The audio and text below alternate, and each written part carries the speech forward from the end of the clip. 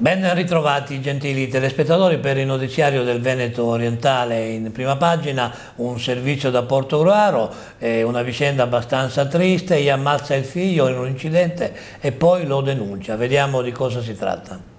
Non bastava quella folle corsa e lo schianto che ha stroncato ad appena 23 anni la vita dell'incolpevole Marco Rizzetto, non bastavano i sotterfugi, i pistaggi seguiti dalla tragedia, secondo appunto i familiari del Rizzetto, che potrebbero aver anche reso vane le residue speranze di salvare il giovane di Portogruaro.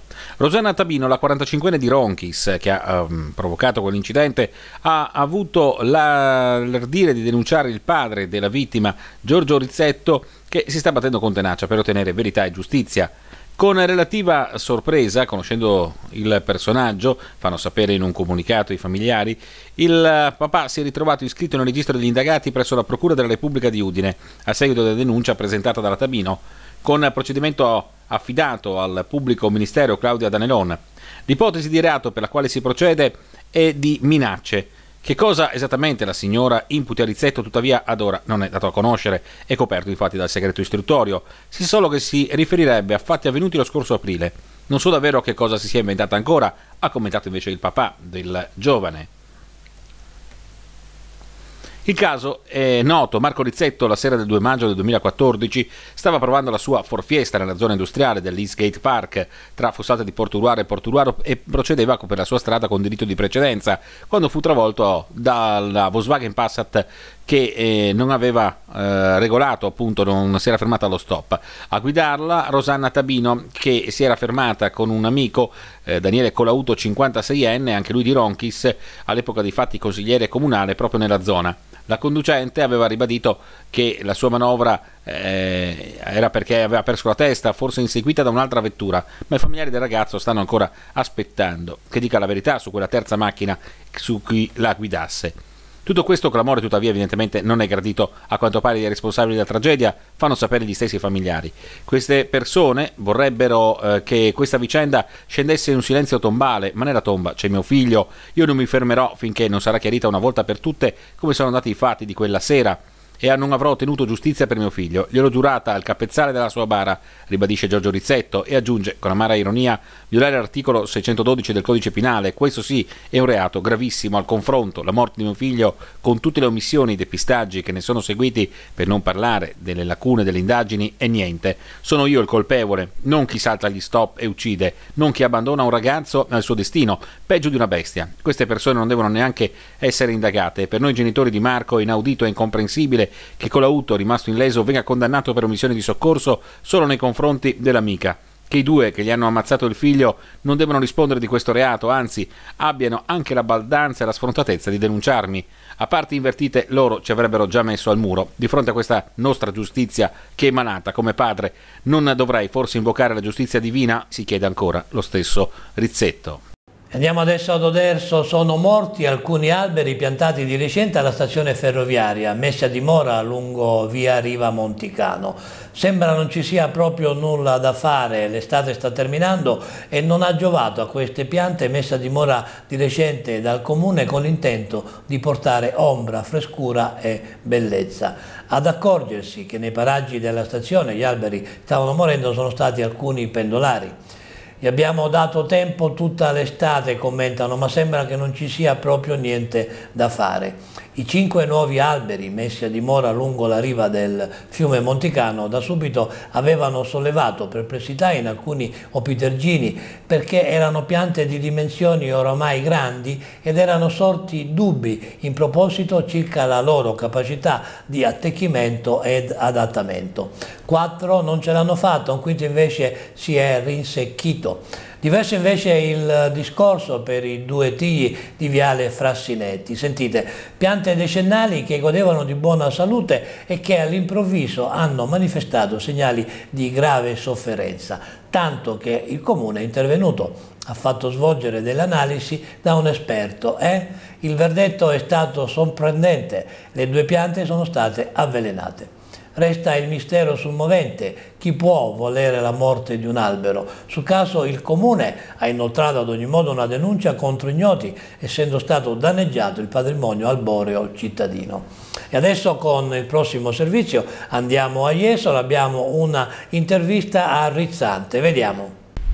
Alessandro Rizzante, presidente dell'Associazione Isolana Albergatori, dalle vostre eh, analisi eh, che due settimane di settembre sono state, c'era molta attesa anche perché grandi eventi, ehm, bel tempo, grandi richieste, le previsioni erano buone, poi com'è andata? È andata secondo quelle che erano diciamo, le nostre indicazioni e credo che eh, alla fine con eh, gli ultimi 15 giorni di settembre abbiamo recuperato quelle perdite che avevamo all'inizio stagione per causa del maltempo e di tante altre concause che non erano certamente favorevoli a una stagione che doveva essere piena di iniziative. Ecco, lei l'aveva detto, ricordo nell'intervista realizzata ancora a inizio luglio, che eh, Jesolo doveva essere ottimista perché mantiene ancora una grande attrazione. Sì, l'appeal di Jesolo non è venuto meno, anzi forse si è incrementato un po' grazie alle situazioni internazionali, ma nello stesso tempo credo che abbiamo recuperato una clientela che da tempo non veniva a Jesolo e il sole, il tempo, la professionalità anche dei nostri, dei nostri imprenditori ha costruito diciamo, questo percorso di recupero. Ecco, presenze molto positive, ma dal punto di vista economico? Forse, ecco lì il punto forse più diciamo, da analizzare. Io credo che se anche dovessimo avere qualche presenza in meno in termini numerici, riusci siamo riusciti diciamo, a recuperare in termini economici, grazie a un sistema diciamo, ormai di revenue sui prezzi che nel momento in cui c'è la grande richiesta il prezzo può salire relativamente. Ecco, i grandi eventi magari hanno aiutato assieme alla professionalità naturalmente e al brand che ha sempre molto appeal. Eh, qualcuno dice che forse eh, le manifestazioni dovrebbero essere diluite nel tempo. Sai, col senno di poi si può dire ciò che si vuole. Noi sappiamo solo che questi dieci giorni, i primi 12 giorni di settembre in cui erano concentrate molte manifestazioni, avevamo quasi il sold out a Jesolo, che non era mai successo. Poi alla fine un'organizzazione magari un po' più dire, diluita nel tempo, sicuramente è pensabile, ma nello stesso tempo dobbiamo fare una programmazione che riguardi i grandi eventi che sono, sono dedicati dedicati poi al grande pubblico, perché non è che eh, ricevi il pubblico perché abbiamo il grande, no, facciamo il grande evento, il pubblico viene, in quel, in quel caso dovremo mettere il tempo e il periodo in cui farli.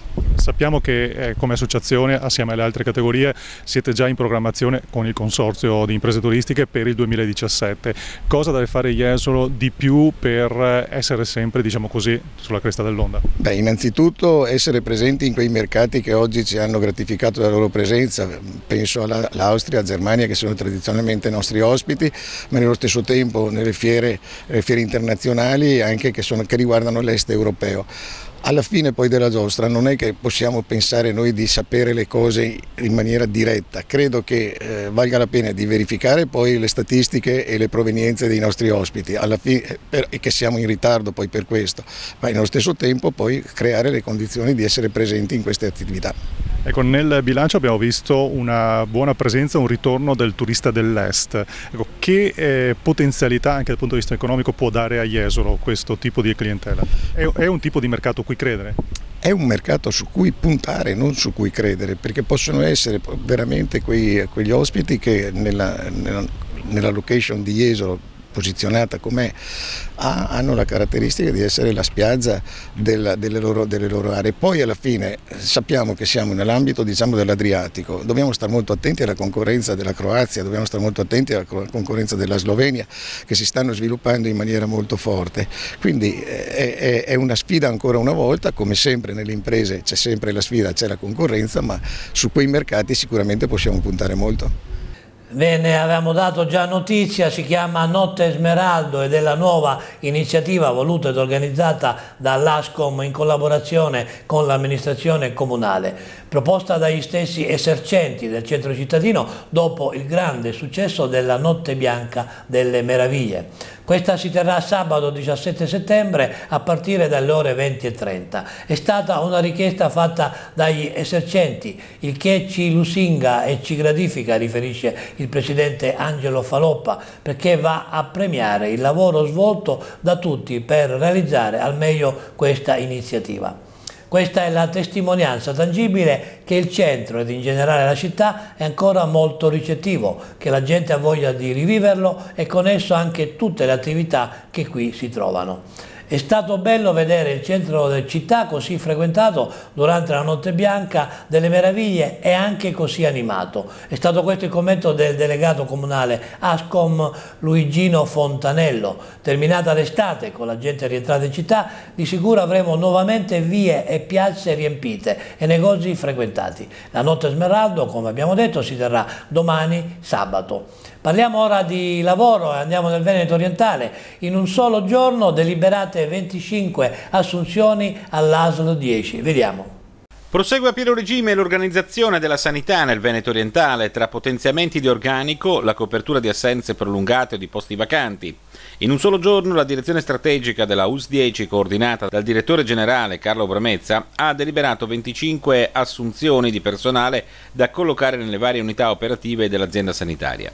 In primis, il semaforo verde si è acceso per 21 infermieri reclutati per un minimo di 8 mesi attraverso avviso pubblico che si è svolto la scorsa primavera al Palarex di Jesolo.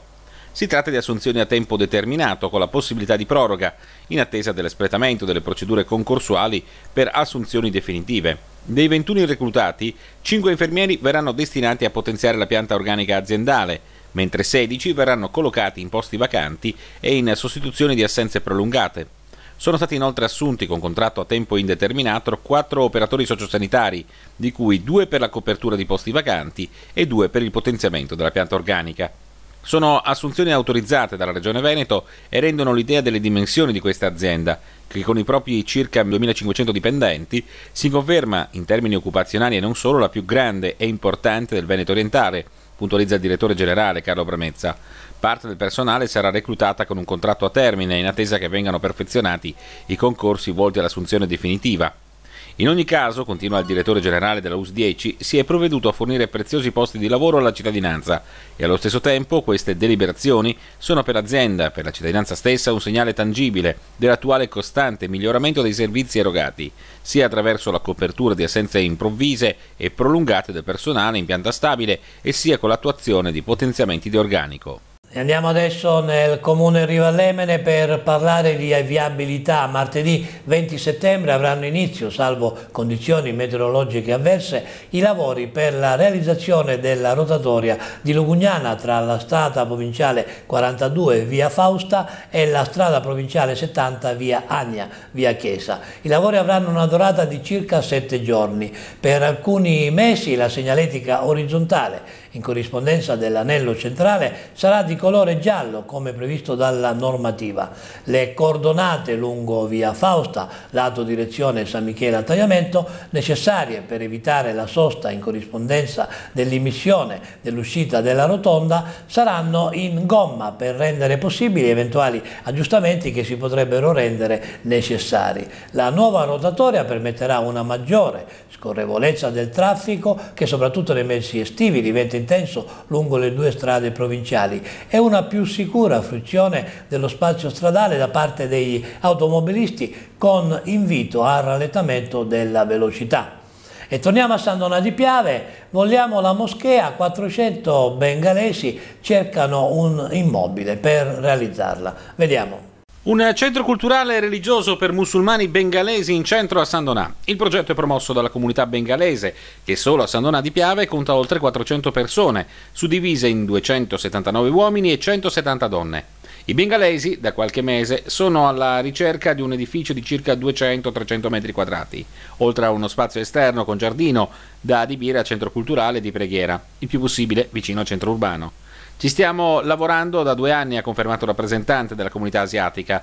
Abbiamo creato un comitato composto da una cinquantina di persone del San Donatese e se possibile siamo disposti ad acquistare l'immobile oppure affittarlo purché sia abbastanza ampio. Molti bengalesi della zona hanno contribuito per raccogliere fondi destinati a questa iniziativa. Abbiamo già fatto sopralluoghi in tre divise, diverse abitazioni da ristrutturare, ma non rispondevano alle nostre esigenze. Si trattava di edifici abbastanza vecchi e troppo distanti dal centro.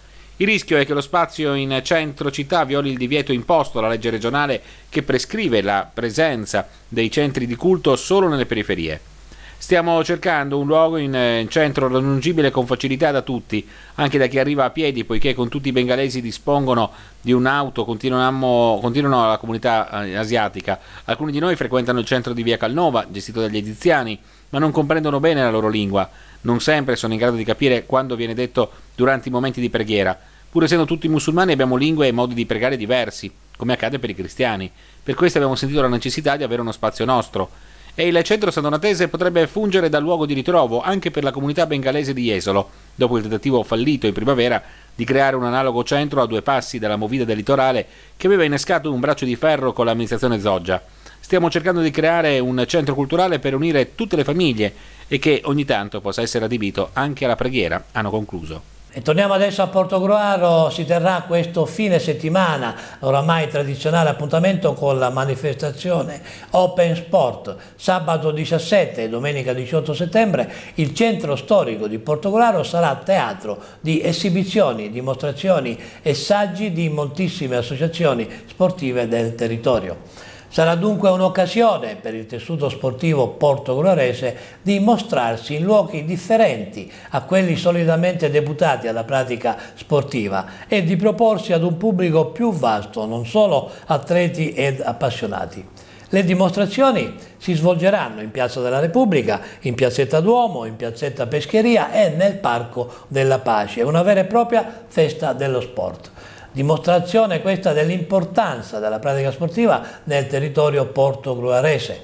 Un prestigioso ed esclusivo appuntamento sarà quello con una delegazione della squadra di basket di Serie A Umana Reyer che si terrà in Piazza della Repubblica domenica 18 alle ore 11. Sempre domenica mattina si svolgerà l'iniziativa a piedi tra i portici e le torri, la settembrina apre l'anno scolastico. Manifestazione podistica non competitiva a passo libero aperta a tutti con un percorso dai 4 ai 21 km a circuito ripetibile organizzata dal Liceo Ginnasio Statale eh, con la sezione scientifica 25 aprile di Portogruaro. Il ritrovo e le iscrizioni sono previste alle ore 8.15 e si concluderanno alle 9.15, poco prima della partenza, presso Piazza Marconi.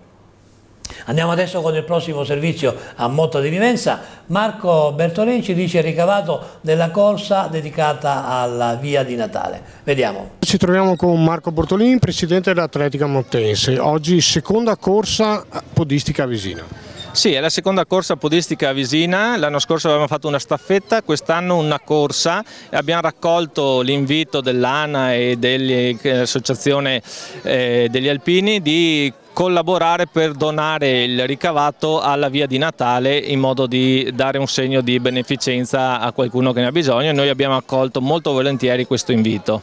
Sarà un percorso lungo la città?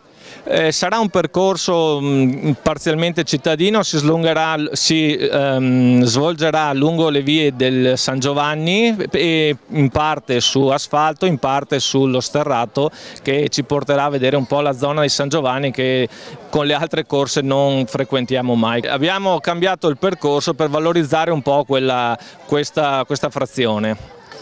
La vostra corsa podistica è anche in combinazione con la 25esima pedalata della solidarietà. Sì, esatto, anzi è stato un loro invito a dire uniamo queste forze perché, per raccogliere fondi e quindi è la pedalata alla solidarietà, è il 25esima edizione, so che da, fino all'anno scorso veniva fatta di domenica, quest'anno per poter incontrare i due gruppi l'abbiamo fatta di sabato e appunto eh, noi siamo molto contenti di aver dato questo supporto questo, per questo scopo. E ora la rassegna fotoreporter scatti dal territorio a cura di Vinicio Scortegagna.